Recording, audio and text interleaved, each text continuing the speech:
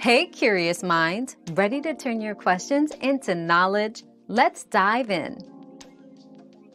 The last episode of Mickey Mouse Clubhouse aired on November 6, 2016, titled Mickey's Monster Musical.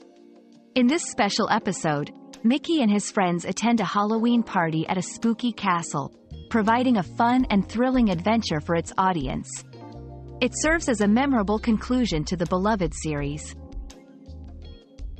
Another mystery solved, but many more await. Keep up with our daily discoveries by subscribing and turning on notifications.